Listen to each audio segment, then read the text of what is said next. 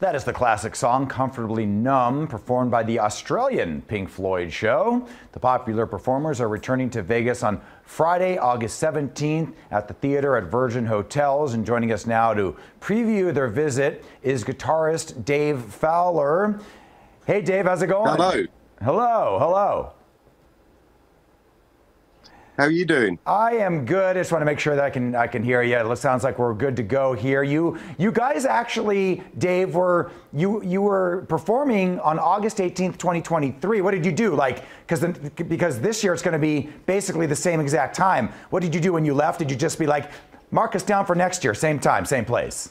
That's just a coincidence with our agent booking it with someone. But no, we I mean we try and get round every year, so the fact that it's exactly a year is is just a bonus, really. But um, we were doing Dark Side of the Moon last year. Last year was the 50th anniversary of Dark right. Side of the Moon, and this year is uh, is more of like a greatest hits. So you're going to get a, an overview of everything um, with you know one particular piece that we've never done on tour before. So uh, really forward to um, to seeing the reaction to that.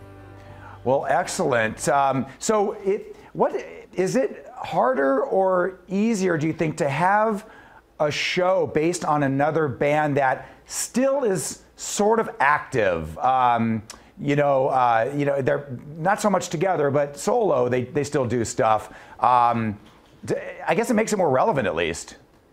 Yeah, I think that um, when the solo the, the members are going out as solo acts, it um, it helps us because it keeps Pink Floyd in the consciousness. Obviously, they want that as well. It was it's their music, and uh, I think I think it, it it just reminds people all the time that how great Pink Floyd music is. And if you go and see Roger Waters or David Gilmour or Nick Mason, you get an amazing show, and it's their take on how they would do Pink Floyd. But when you come and see us, hopefully it's as close to Pink Floyd as as is possible.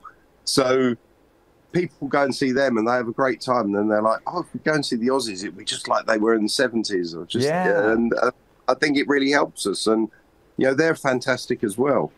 Obviously, well, Roger, they're the originals. I've seen Roger Waters several times. I, the the pros and cons of hitchhiking tour way back in the day, and oh, wow, uh, yeah, and then and then more recently, but of course they have the inflatables. He, he, he has that like the giant pig, but you guys have a a pink kangaroo. I don't. Is that we an do. Australian thing? Correct.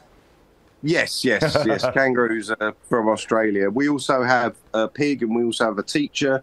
We've got all the lasers. We've got the circle screen with the video. We've got loads of lights. Um, obviously, have... when Pink last toured in 1994, they had to have 10 lights to do something that one light will do now. Oh, so, nice. you know, so our show can do a huge amount with you know, with the technology that's around today. So yeah, it's a real spectacle. Well, you, you haven't jumped the shark until you have uh, in, inflatable meat and inflatable pudding. But, uh, but thank goodness for that. All right. Well, Dave, you guys are going to be here. We have a little time for people to get tickets. It's going to be Friday, August 17th at the theater at Virgin Hotels Las Vegas.